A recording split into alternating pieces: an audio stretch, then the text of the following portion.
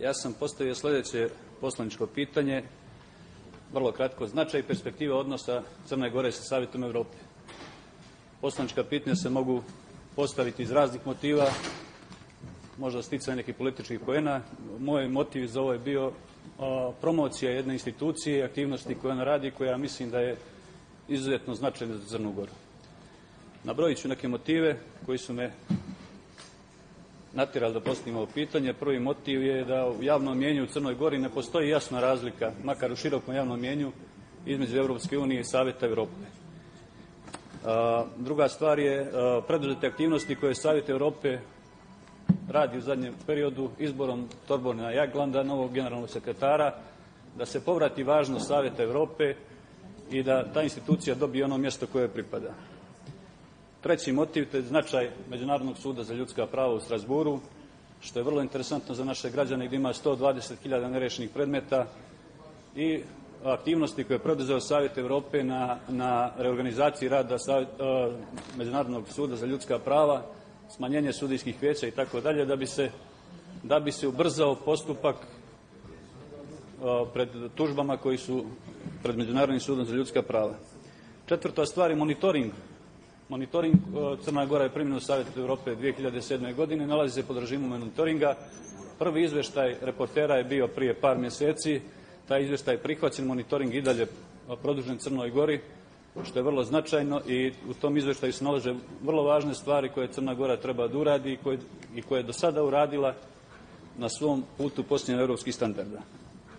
I peti, peti motiv je taj da mislim da u medijima postoji jedna navika lošeg izvještavanja o radu Saveta Evrope. Vrlo često se neobjektivno neke stvari prikazuju kao više dobra nego ono što stvarno jesu, a one loše se sa druge strane prikazuju lošije nego što stvarno jesu. Savet Evrope ne funkcioniše po tom principu nekog ekstremnog odobravanja ili optuživanja. To je prije svega rezultanta koju daju, koju definišu 47 zemalja članica, ali se ipak prepoznaje jasan trend da se prihvataju standardi Evropske unije i da je to ono što je u stvari vodilja nekih odluka i standarda koje prihvata Savet Evrope. Želio bih još jednom naglasim da je pitanje u cilju promocije Saveta Evrope i aktivnosti i pomoći koje napruža Crnoj Gori na njenom putu. Zahvaljujem. Ministar Oćen ima riječ. Izvolite. Uvaženi poslaniče Gojkoviću, zaista sam vam izuzetno zahvalan što ste postavili ovo pitanje i mogu da kažem da se do, do, u cijelosti slažem i sa vašim komentarima koje ste iznijeli sada u obrazloženju vašeg pitanja. E, hvala vam za mogućnost da i na ovaj način afirmišemo izuzetnu saradnju između Crne Gore i Savjeta Evrope i značaj te saradnje. Podsjetit ću, Crna Gora je najmlađa članica ove najstarije panevropske organizacije od 11. maja 2007. godine. S druge strane, Savjet Evrope je u Crnoj Gori prisutan od maja 2000. Podrška Savjeta Evrope Crnoj Gori je od izuzetnog značaja u procesu reformi i do i nakon sticanja nezavisnosti i punopravnog članstva.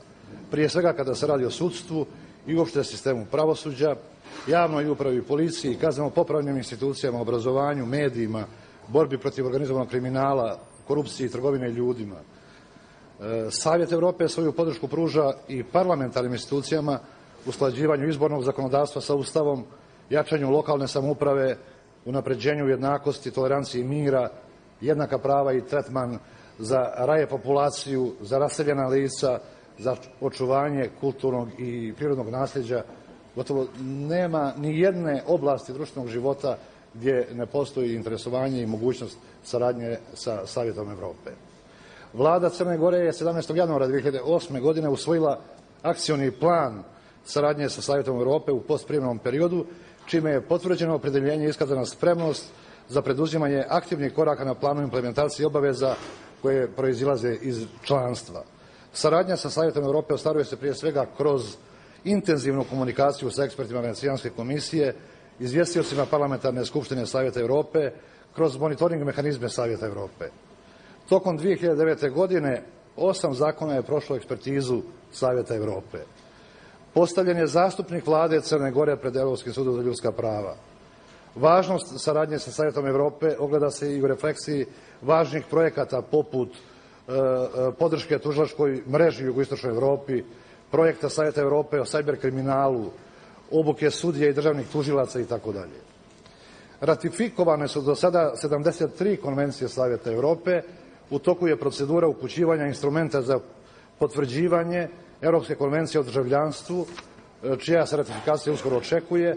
Preostale su još tri konvencije za ratifikaciju i jedna za potpisivanje i time će biti zaokružene naše obaveze u postprijemnom periodu e, na ovom planu. Vidni rezultati u saradnji sa Savjetom Evrope postignuti su i u oblasti sprečavanja pranja novca, finansiranja terorizma i borbe protiv korupcije. Od 49 preporuka Manivala, Crna Gora je sistem sprečavanja pranja novca i finansiranja terorizma usaglasila sa ukupno 41 preporukom, što procentualno iznosi nešto preko 83%. Marta 2010. godine usvojen je izvještaj o napretku Crne Gore u oblasti sprečavanja pranja novca i finansiranja terorizma. Implementirali smo i 66% preporuka ili 16 od 24 iz izvještaja GRECO o, prvom i drugo, o prvoj i drugoj evaluaciji Crne Gore, dok je osam preporuka ocenjeno kao djelimično sprovedeno. U prvom izvještaju koji ste i vi pomenuli, monitoring misije Parlamentarne skupštine Savjeta Evrope, koji je usvojen aprila ove godine, E, između ostalog je pozdravljen značajan napredak koji su ostvarili crnogorski nadležni e, organi u ispunjavanju obaveza preuzetih članstvom u Savjetu Evrope. Vlada Crne Gore će nastaviti sa odgovornim ispunjavanjem svih obaveza koje proističu za našu zemlju iz članstva u Savjetu Evrope. Ta saradnja direktno korespondira i sa sve zahtjevnijim obavezama koje stoje pred Crnom Gorom na putu evropskih i evroatlanskih integracija. U svim ovim aktivnostima važnu ulogu imala je i ima misija Savjeta Evrope u Crnoj Gori, kao i misija Crne Gore pri Savjetu Evrope u Strasburu. Inače, u Strasburu se planira zatvaranje kancelarije Savjeta Evrope u Crnoj Gori u okviru reforme, organizacione strukture i planiranog prenošenja težišta aktivnosti na finansiranje programskih aktivnosti, što je istovremeno jasan pokazatelj nivoa ispunjenja obaveza Crne Gore na osnovu članstva u Savjetu Evrope i stepana implementacije demokratskih standarda u našem društvu. Ja nijesam naravno e, ni imao vremena, niti, niti bilo potrebe da govorim o saradnji parlamentarnom linijom sa Savjetom Evrope i parlamentarnom skupštinom Savjeta Evrope, koja je vama svakako poznata. Hvala vam. Hvala vama. Pa, istakao bih par, par nekih stvari koje bi trebalo popraviti u, u radu ovaj, države Crne Gore odnosima sa Savjetom Evrope. To je prije svega, mi nemamo punu delegaciju koja je, imamo tri člana, to je vjerovatno iz, ovaj, zbog finansijskih ovaj, sredstava koja su potrebna da bi, što nas onemogućava da prisustujemo svim odborima gdje je potrebno da budemo. Druge zemlje su veće, imaju veći broj veći broj članova parlamentarne skupštine Saveta Evrope oni lakše to pokrivaju dok mi ne možemo da prisustujemo. Znači, biramo ono što je najvažnije i vrlo često smo osutni. Druga stvar koja je vrlo važna i koja je aktualna u zadnje vrijeme, nemamo predstavnika u monitoring komitetu, a zna se da je to jedno bitno tijelo gdje se može uticati na vrlo značajne odluke na nivou Evrope. Znači, to bi bilo potrebno da se uradi ovaj, da bi se kvalitetnije ovaj, djelovalo.